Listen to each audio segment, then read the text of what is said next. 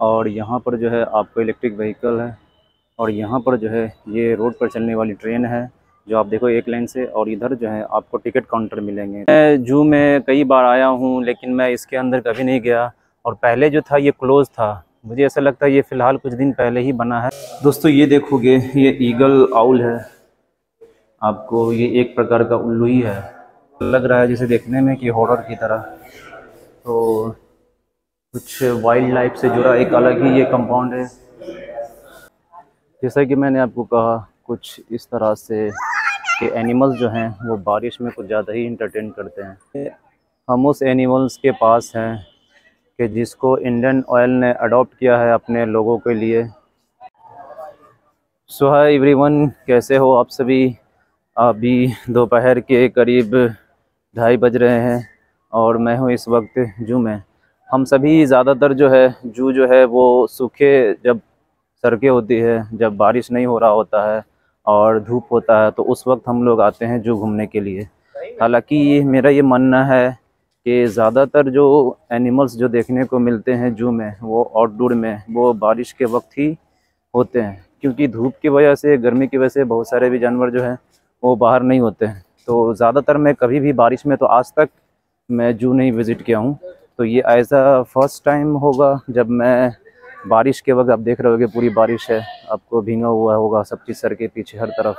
तो पूरी बारिश है और काफ़ी बारिश होने का से काफ़ी पेड़ पौधे हैं, वो भींग चुकी हरियाली है।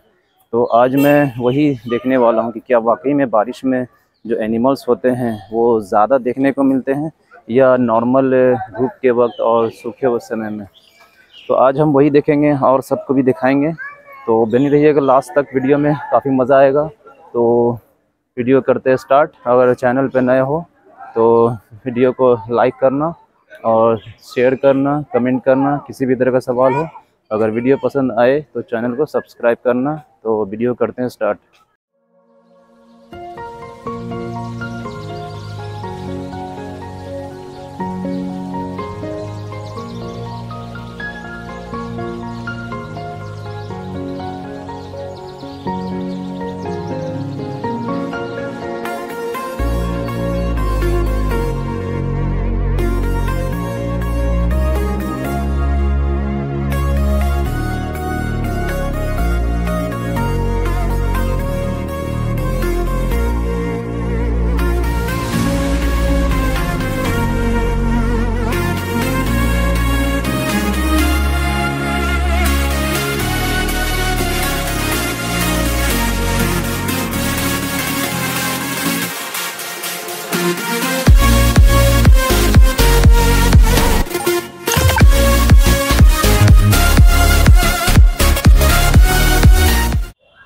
दोस्तों, ये है संजय गांधी बायोलॉजिकल पार्क का मैप।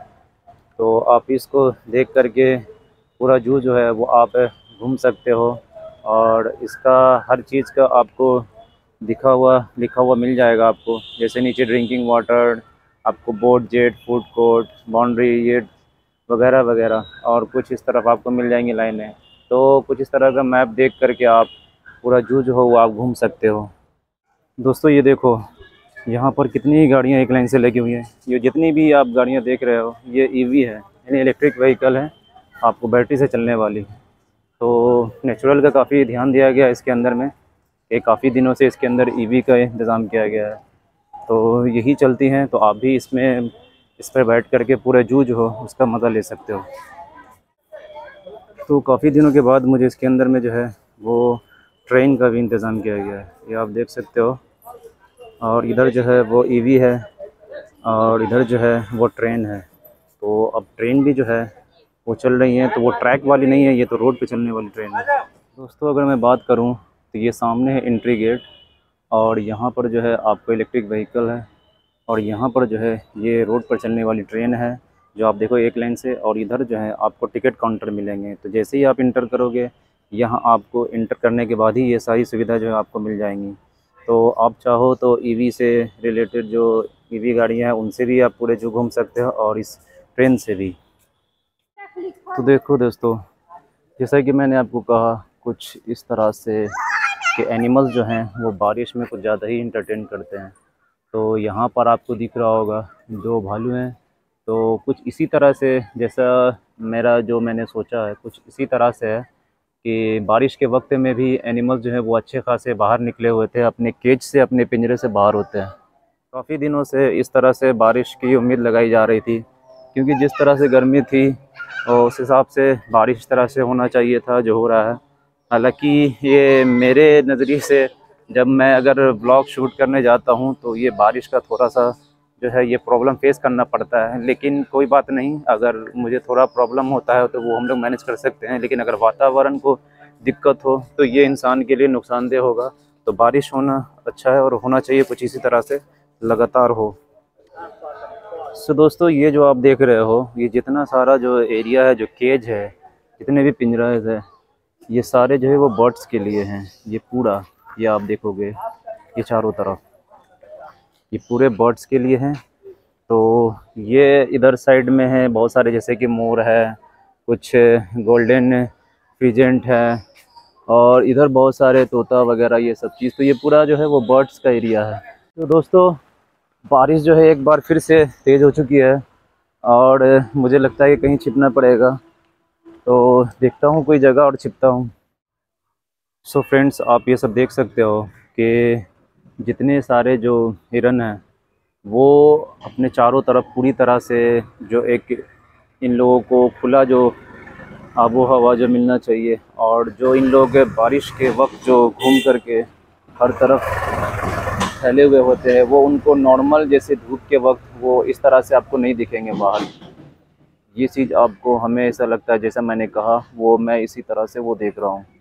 ये देखो आप तरी, ये सब जैसे, ये है बारह सिंगा तो बारिश होने के बाद देखो आप किस तरह से ये बाहर आपको दिखेंगे कुछ इस तरह से और काफ़ी ये लोग भी आनंद ले रहे हैं। तो नॉर्मल जो होता है धूप के वक्त तो कुछ ये डिफरेंस मिलेगा आपको बारिश में और धूप के समय जू में आने का, जिसमें आपको बहुत सारे एनिमल्स जो हैं वो पूरी तरह से आपको दिखेंगे बाहर निकले हुए।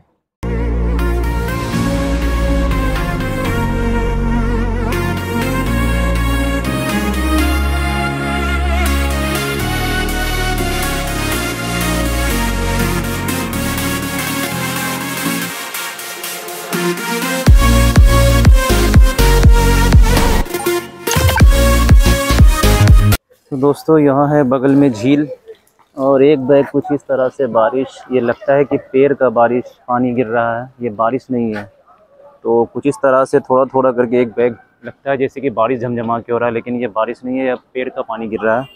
तो अभी जो है, ये कुर्सियाँ जो है, भींगी हुई है तो थोड़ा मैं इसको साफ़ कर लेता हूँ और इसी पर बैठता हूँ, फिर आपसे कुछ बातें करता हूँ। थोड़ा सा दोस्तों, बस यही डिस्टर्बेंस है, ये जो बीच बीच में जो एक बैग बारिश होने लगता है तो इधर उधर छिपने के लिए भागना पड़ता है। तो ये कुछ जो है इशू हो सकता है, क्योंकि यहाँ तो आपको ज़्यादा पेड़ पौधा मिलेगा और बारिश होने के बाद थोड़ा ज़्यादा ही हरे भरे जो हैं वो पेड़ दिखते हैं। और जैसे मैंने कहा तो अभी फ़िलहाल मैंने ज़्यादातर दो एनिमल्स को देखे हैं कि वो बाहर मुझे दिखे और जो मैंने डे में जो मतलब धूप के वक्त जो मैं इससे पहले कई बार, जू तो मैं कई बार विज़िट किया हूँ, यहाँ भी और यहाँ से बाहर भी मैं विज़िट किया हूँ। तो ये कुछ मुझे बाकी से डिफरेंस लगा कि बाकी जो एनिमल्स है, वो मुझे बारिश में कुछ ज़्यादा ही आउटडोर में दिखे और पहले जो है, वो कम दिखते थे। आप सभी को जू में सिर्फ़ दिक्कत यही होगा, इसी दिक्कत का सामना करना होगा कि जितनी जो सड़कें हैं, जहाँ मिट्टी होंगी वहाँ आपको गीले मिलेंगे, हर तरफ़ आपको नीचे पानी मिलेगा, लेकिन बहुत सारी जो सड़कें हैं, जो पक्के, वहाँ आपको कोई दिक्कत नहीं होगा। तो थोड़ा सा दिक्कत है लेकिन बारिश में भी आप अच्छा खासा, आप जो जो हो, आप अच्छे से विज़िट कर सकते हो, घूम सकते हो और बहुत सारे एनिमल्स जो आपको बाकी दिन में ज़्यादा देखने को मिलेंगे। सो दोस्तों, ये हम उस एनिमल्स के पास हैं कि जिसको इंडियन ऑयल ने अडॉप्ट किया है अपने लोगों के लिए। काफ़ी गीला हो चुका है इसका एरिया और कुछ पानी जो है यहाँ जम चुके हैं।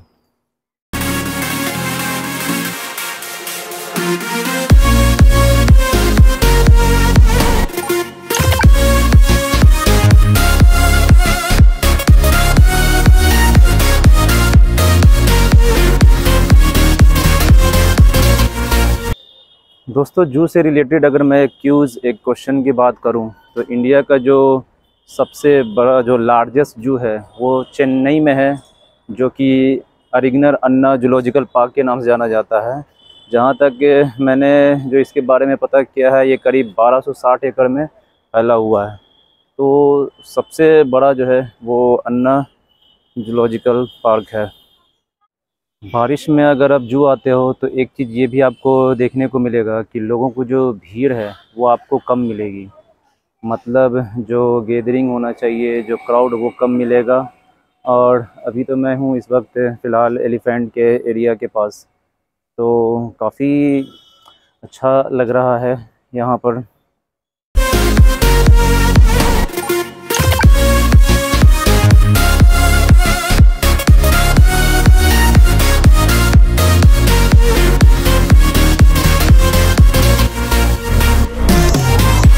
सो दोस्तों, ये है टॉलेस्ट एनिमल सबके लिए तो खाने के लिए इंतज़ाम नीचे होता है और इसके लिए करीब पाँच फीट ऊँचा। ये आपको दिख रहा होगा, करीब पाँच फीट ऊँची है और ये एक, दो। तो वैसे लिए इसकी गर्दन इतनी लंबी है तो ये तो आराम से पेड़ पर, पेड़ से तोड़ करके ही पत्ते खा सकता है। और जिस तरह से इसकी हाइट है, उस तरह से इसके रखने के लिए भी काफ़ी ऊँची और लंबी जो है, वो इसको आप घर कह सकते हो, बनाया गया इसके रहने के लिए। दोस्तों, बारिश होने के बाद भी ऐसा नहीं है कि जू में लोग कम हैं। आप देखो, जिस तरह से बोटिंग की सवारी हो रही है लोगों की, काफ़ी अच्छे खासे हैं। मतलब ऐसा नहीं है कि बारिश होने की वजह से लोग जो है वो कम हैं। है, लेकिन बारिश की वजह से थोड़ा तो कम होंगे ही। तो बोटिंग से पता चल रहा है कि अच्छा खासा जिस हिसाब से सब बोटिंग कर रहे हैं। तो जू में अभी भी है बहुत सारे लोग।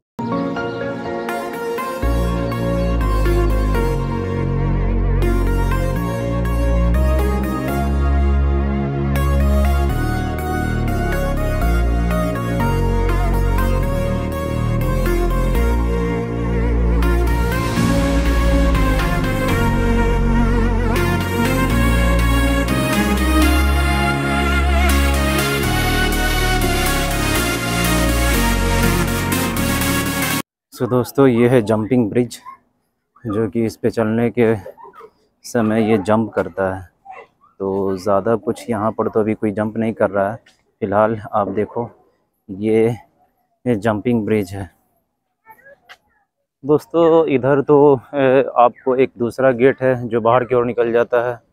तो मुझे भी बाहर तो नहीं अभी इधर ही विज़िट करना और ये है आपको वो स्टेशन जहाँ आपको बैटरी चालित जो गाड़ियाँ हैं वो यहाँ पर मिलेगी, इसके लिए आपको कुछ फेयर देने होंगे। सपोज़ थर्टी या फिफ्टी फाइव रुपीज़। दोस्तों, जब आप जूम में आओगे तो इसमें आपको एक छोटा सा फूलों का गार्डन मिलेगा, जो कि ये है एक छोटा सा गार्डन, और ये है इसका एंट्री। और इसमें अभी खैर तो उतना सारा तो ज़्यादा देखने को फूल नहीं मिल रहे हैं, फ्लावर्स। थोड़े बहुत हैं और ज़्यादातर अभी तो गुलाब ही देखने को मिल रहा है। हो सकता है अभी इसमें अभी फ़िलहाल अभी ही बहुत सारे जो हैं वो बोए गए होंगे। जैसे देखेंगे अभी वर्कर्स जो हैं कुछ काम कर रहे हैं। तो ये एक छोटा सा आपको फूलों से भरा हुआ गार्डन है एक।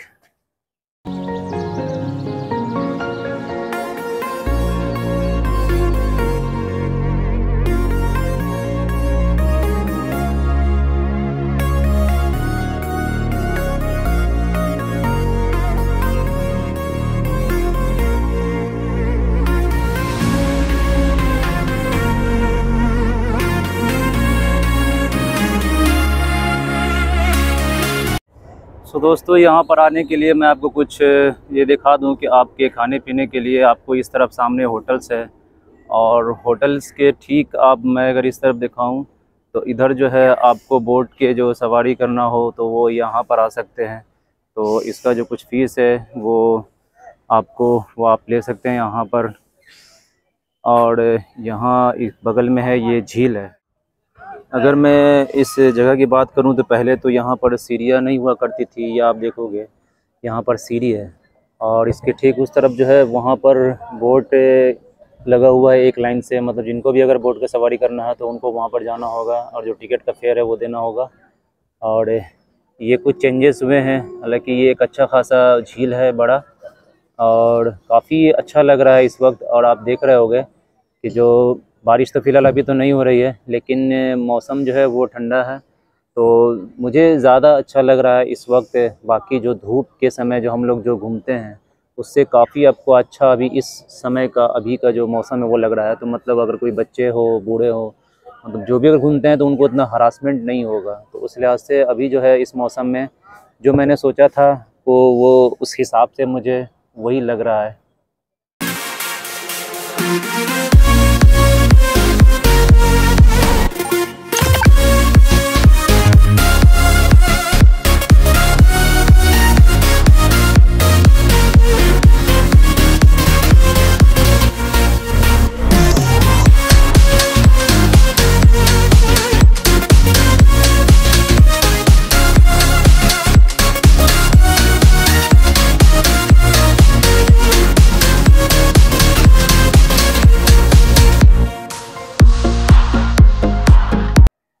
दोस्तों, इसमें मैं जू में कई बार आया हूँ, लेकिन मैं इसके अंदर कभी नहीं गया।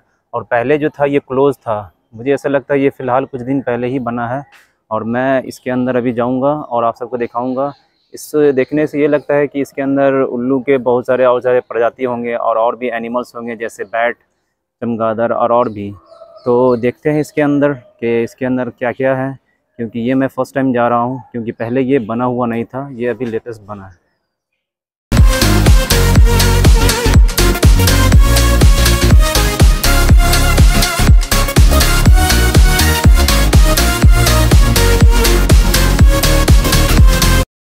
पहले मैं इतनी बार आया, लेकिन मैं इसमें कभी नहीं गया। देखता हूँ इसके अंदर क्या है। तो कुछ इसमें एनिमल्स के ही लगे हुए स्टैचू ये है बैट चमगादड़ ओ मुझे थोड़ा सा अलग ही दिख रहा है पिछले बार से। ये तो मैं फ़र्स्ट टाइम आया हूँ इसके अंदर में। तो कुछ उल्लू है बहुत सारे हैं, जैसे ये एनिमल्स हैं, और कुछ भेड़िया लोमड़िया ये सब। दोस्तों, ये कुछ ऐसा लग रहा है जैसे देखने में कि हॉरर की तरह। तो कुछ वाइल्ड लाइफ से जुड़ा एक अलग ही ये कंपाउंड है। तो मैंने फ़र्स्ट टाइम मुझे देख रहा हूँ, मैं आज तक मैं करीब करीब अच्छा खासा मैं आ चुका हूँ, इसके अंदर छः सात बार। लेकिन ये मुझे फ़र्स्ट टाइम मैं देख रहा हूँ।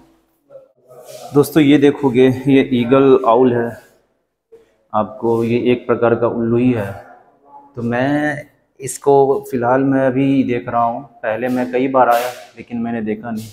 और काफ़ी डार्क है अंदर में मतलब लाइट कम है। काफ़ी डार्क वाला फीलिंग आपको आएगा, इसके अंदर में अंधेरा ही अंधेरा। तो इसमें आपको चमगादड़ भी मिलेगा, उल्लू भी। तो कुछ अलग तरह के हैं, जैसे कि ये उल्लू है। तो काफ़ी अलग ही लग रहा है इसमें। चीज़ ये है कि इसके अंदर में कुछ कुछ डिस्टेंस पे एसी लगी हुई है। तो गर्मी नहीं लग रहा है इसमें तो क्योंकि हर डिस्टेंस पर थोड़ा थोड़ा एसी है। तो ये कुछ अच्छा लग रहा है। तो दोस्तों, करीब दो घंटे हो चुके हैं मुझे इसमें, और मुझे लगता है कि मुझे अब यहाँ से अपने इस ब्लॉग को एंड करना चाहिए। सो दोस्तों, कैसी लगी वीडियो और यहाँ का जितना जो मैंने आपको जो व्यू दिखाया और काफ़ी जो एनिमल्स थे, जो मैंने आपको जैसे बताया कि नॉर्मल डे में जो हम लोग आते हैं, जिस समय जो काफ़ी धूप होता है, करीब 12 बजे, एक बजे या 11 बजे के आसपास तो उस वक्त काफ़ी धूप का मौसम होता है और गर्मी की वजह से जो बहुत सारे जो एनिमल्स होते हैं, वो बाहर देखने को नहीं मिलते हैं। तो मैं फ़र्स्ट टाइम एज आज मैंने वही देखने के लिए आया जू तो कि मैं आप सबको भी ये दिखा सकूँ कि जब हम लोग तो बाकी डे में जो है वो जू और घूमते ही हैं, चाहे वो यहाँ हो, चाहे कहीं और भी कहीं जू हो तो क्या कुछ डिफरेंस होता है मतलब नॉर्मल डे में और बारिश के समय में? तो ये सब कुछ मैंने आपको इस व्लॉग में मैंने आप सभी को दिखाया। तो उम्मीद है कि आप सबको वीडियो काफ़ी पसंद आई होगी, और जैसा मैंने एक्सपेक्ट किया था, जैसा मैंने उम्मीद किया था, बिल्कुल वैसा ही मुझे देखने को मिला और काफ़ी मुझे भी अच्छा लगा। और इसमें एक चीज़ और ये बेनिफिट ये है कि आपको इस मौसम में ज़्यादा थकान महसूस नहीं होगा। जो आपको धूप में जब आप निकलते हो और पूरा करीब ये अच्छा खासा बड़ा है, कोई छोटा तो जो है नहीं, कोई पार्क तो है नहीं क्योंकि ये बड़ा है और आपने इसमें देखा इतना बड़ा झील है कि बहुत जगह इतना बड़ा पार्क भी नहीं होता जितना बड़ा इस जू में झील है। तो जितना बड़ा जो जू है, उस लिहाज से आप अगर धूप में अगर निकलते हो और जू घूमने के लिए आते हो तो आपको थोड़ा थकान हो सकता है। लेकिन आज जिस हिसाब से जिस मौसम में मैंने आपको दिखाया ये कुछ आपको अलग ही फील देगा, काफ़ी अच्छा लगेगा और आपको थकान महसूस भी नहीं होगा। तो काफ़ी अच्छे तरीके से आप घूम सकते हो। तो उम्मीद है आप सबको वीडियो काफ़ी पसंद आई होगी। अगर वीडियो पसंद आई हो तो लाइक ज़रूर करना और ज़्यादा से ज़्यादा शेयर करना। कोई भी सवाल हो तो कमेंट करना। मिलते हैं अगले तरह के, इसी तरह के ब्लॉग में। तब तक के लिए good bye have a nice day खुदा हाफिज़। जय हिंद।